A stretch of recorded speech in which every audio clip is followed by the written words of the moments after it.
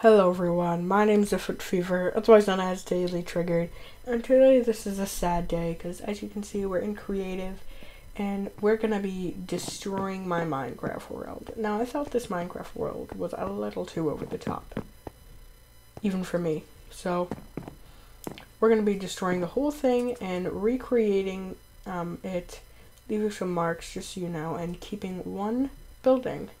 So I will speed this up just a little bit um, for the sake of the video, and I'll see all you guys in a little bit. Peace.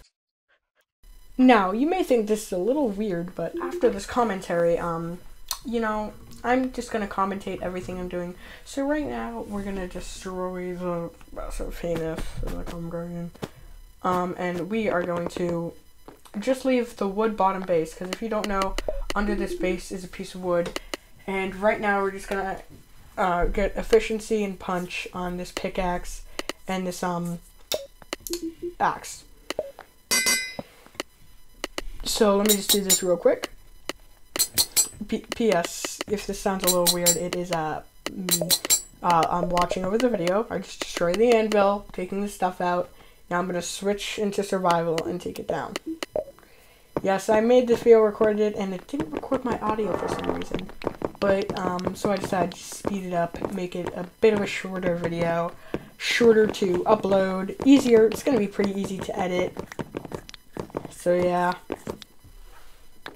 Um, now you just see the bottom base of this. Now we gotta destroy the elephant. I decided to blow it up and leave the remnants, as you can see here in a second. I don't get the whole elephant, but, um, get most of it. The only thing we're um, doing uh, leaving is the coaster because um, the coaster really isn't that bad. Plus, I want a little bit of memories from the old times. And I'm just going to destroy this with my pickaxe. Then you'll see what we do with Drew. What we do with Drew is we're just going to take him and stuff and just cut off most of his body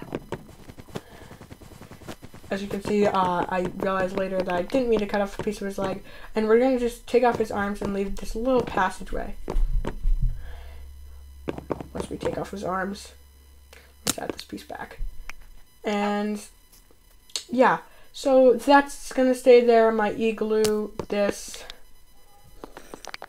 and a lot of other stuff, like my big, ginormous tower base I made.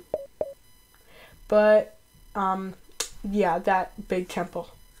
But as I say at the end of every video, this is a sad one. That's the end of this video, guys. If you liked it, make sure to drop a like down below, and I'll see all you guys in the next one. Peace.